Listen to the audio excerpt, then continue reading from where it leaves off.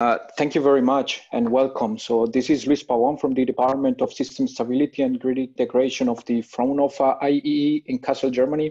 And today I want to talk about the power factor improvement by active distribution networks during voltage emergency situations. This is a joint work between the Fraunhofer Institute and the University of Liège with the professor Thierry van Cutsem, who is the author of this publication. Our main motivation for this work is that up to date we have considerable amounts of distributed generating units integrated mainly into medium and low voltage grids, and therefore the interaction between transmission and distribution networks is playing a higher role in power system security. Therefore, the contribution of active distribution networks to system stability is becoming more and more significant. In this work, we are focusing on long-term voltage stability issues, which lead us to a fundamental question, which is what do we do with all these distributed generating units if there is a situation of a potential voltage collapse?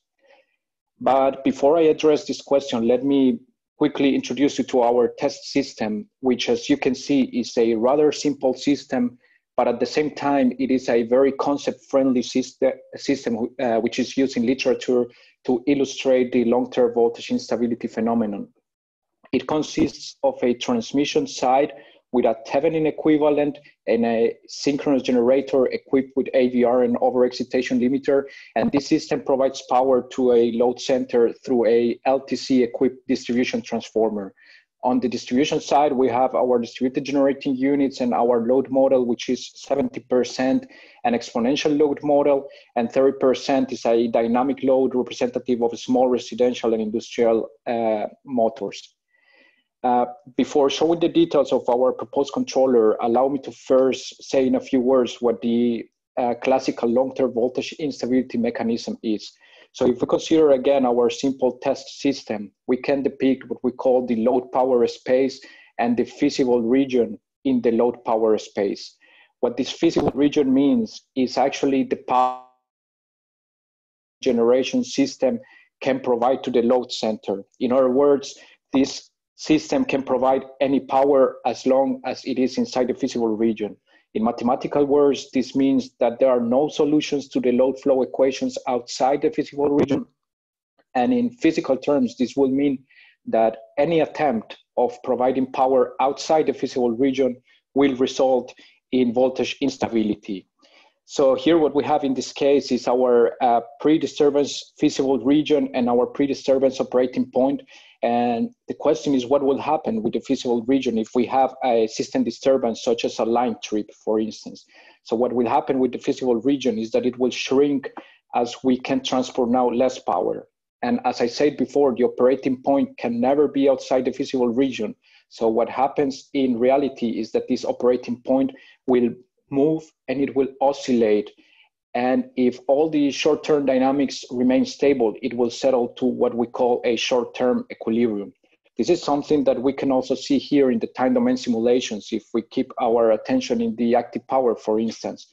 Once the line trips, the system oscillates and it settles to a short term equilibrium. Nevertheless, this operating point is not a long term equilibrium, which means that it will move depending on the long term dynamics. So what happens in a classical scenario is that the LTC of the distribution transformer attempts to restore the distribution voltage. And in the process, it will also restore the load power consumption. In terms of the load power space, what it means is that this operating point will slowly move depending on the long-term dynamics. And if there is an attempt of going outside the new feasible region, the system will experience system instability, which is what we see here in this case. Mm, so this brings us to our big question. What do we do with distributed generating units in order to uh, avoid a potential uh, long-term voltage instability? So the answer that most power engineers will give is that if we are support, if we are experiencing voltage problems, it makes sense to support voltage by means of reactive power injection. And this makes sense because even if we consider the high resistive nature of the distribution grid, it makes sense to support reactive power just next to the load. So we don't need to transport huge amounts of reactive power from far away in the system. Uh, but as I will show in a second, this may not be the proper course of action. uh, what happens if we attempt to only inject reactive power with the DG units? Uh, the first and most obvious consequence is that we will decrease the reactive power that we are demanding from the transmission system. And this is a good thing. We are actually moving downwards in the load power space. But this has a counterproductive effect, which is that as long as soon as we start injecting reactive power with the DG units, we also increase the distribution voltage, which, which translates to increased power consumption. So the overall trajectory in the load power space is something like this, which is a trajectory that has shown to be detrimental for system stability. Uh, here I, I, put a couple of references that explain this phenomenon uh, in good detail. So if injecting reactive power was not the proper course of action, uh, what if we do the opposite? What if we actually decrease reactive power injection with the DG units? So the first effect will be that we will actually increase the reactive power that we are demanding from the transmission system. And this is not a good thing. We are moving upwards in the load power space. Nevertheless, this has an advantage, and is that if we decrease reactive power injection, we decrease the distribution voltage, which translates in a decreased power consumption. So the overall trajectory in the load power space is something like this, which is a trajectory that has shown to be more beneficial than the previous one, but nevertheless, it also suggests that in some cases we could go outside of the feasible region. So this is the problem that we want to address with this work. We want to have proper support, reactive power support with the distributed generating units, meaning to improve uh, power factor without the counterproductive effects of load restoration. And therefore, we are proposing a voltage uh, emergency control scheme, which is depicted here as a, st- a finite state machine representation. And what it does is that it improves power factor as seen by the transmission network during voltage emergency situation. But first, let's recall what will happen without the controller as soon as we inject reactive power with the DG units. So what will happen is that when we inject reactive power, we will increase the distribution voltage to dangerous levels. And this is not a good thing to happen. This will lead to load restoration and it will endanger system stability. Now, uh, when we activate our controller, what we are doing is actually synchronizing DGU actions with LTC actions. Uh, so we inject some reactive power until some point, but then we synchronize with the LTC in order to slightly decrease the distribution voltage. This gives us a little bit of room for more reactive power injection, and then we synchronize with the LTC again. This gives us a little bit room for more reactive power injection, and then we synchronize with the LTC again, and so on. So as you can see, we can have a very good reactive power support with the DG units without the counterproductive effects of load restoration due to increased uh, distribution voltage. To show the performance of the controller, I brought to you three different cases. So the first one, or let, let me call it uh, case zero, is the base case in which we have no emergency control. So what we see here is the distribution voltage and the reactive power injected by the distributed generating units. So here what happens is that the line trips, the system oscillates, settles to a short-term equilibrium. Here we can see the action of the overexcitation limiter of the synchronous generator, and we can also clearly see how the LTC of the distribution transformer starts restoring distribution voltage. What is important to note here is that there is no reactive power support by the distributed generating units. In the next case, we activate our voltage emergency controller with the following parameters. The voltage set point for the LTC is lowered to 0.95 per unit, as well as the voltage set point of the distributed generating units equally decreased to 0.95 per units.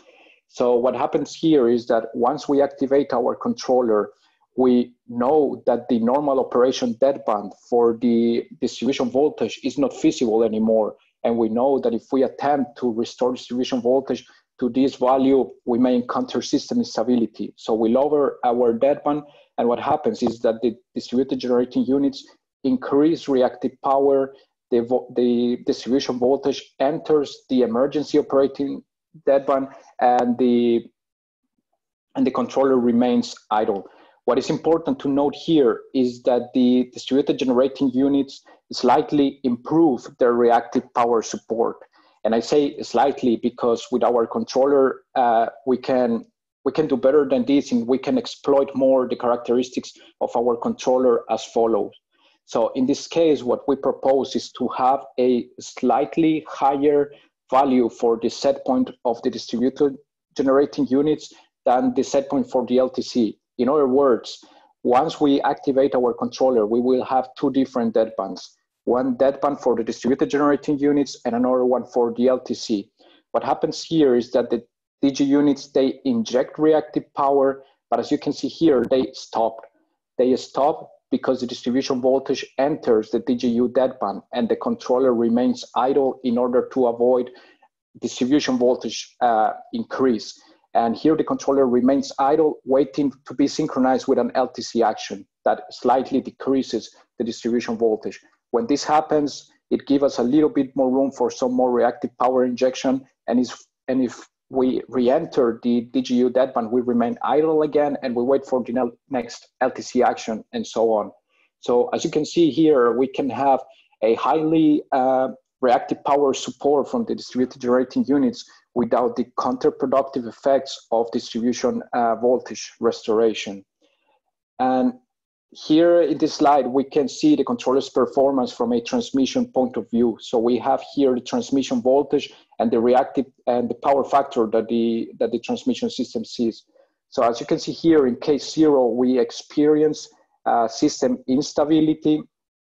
In case one, we have a slight improvement of, pow of power factor, but uh, even though the improvement in power factor uh, is uh, kind of marginal, the controller achieves something very important, and it is that it stops the instability mechanism and the system remains stable. So now the system is long-term stable and transmission voltage settles above 0.9 per unit. But it's actually in case two where we can actually exploit the characteristics of the controller to highly improve power factor, which leads to a nice uh, voltage recovery settling to close to one per unit. So as you can imagine, the success of this controller highly depends on the ability of the distributed generating units to inject reactive power when requested. So what we see here in this plot is the capability curve of an inverter in terms of active and reactive current. And what we see here is the result for four different simulations in which the initial active current is different. So in the first case, for instance, the initial active current is 0.85 per unit. And what happens is that once the line trips, the system oscillates. And at point A, we activate our controller. The controller will request reactive power injection, which means that the inverter increases its reactive current. What we see at point B is actually the first uh, LTC action. So we see an LTC action, more reactive power injection, another LTC action, more reactive power injection, and so on. So all this increase in reactive current translates to an increase in reactive power, which we call here our reactive power margin. In this case, the reactive power margin is equal to 11% of the load reactive power consumption. If the initial active current is higher, as in these two cases, for instance, the reactive power will naturally, the reactive power margin will naturally be uh, lower as the inverter may hit its maximum current limiter. So in these cases, we, we have a reactive power margin equal to 9% and 8% respectively. But what is interesting to see here is the this last case in which the initial active current is so high that once the initial oscillations have died out, there is no room for any reactive power support whatsoever because the inverter reached its maximum current. Uh, and as you can see here in the time domain simulation, in this uh, in this case, we can't really improve power factor, and this is a natural limitation of the controller. Nevertheless, even in this very conservative case, the controller achieves something very important, and is that it stops the instability mechanism. The system remains uh, stable, is long-term stable, and transmission voltage settles above 0.9 per unit. Uh, in the other cases, when we have some sort of reactive power margin, we can highly improve power factor, which leads to a nice uh, voltage restoration. To conclude the presentation, the interaction between transmission and distribution networks is playing a higher role in power system security. Therefore, we are proposing a controller that improves power factor as seen by the transmission system during voltage emergency situations.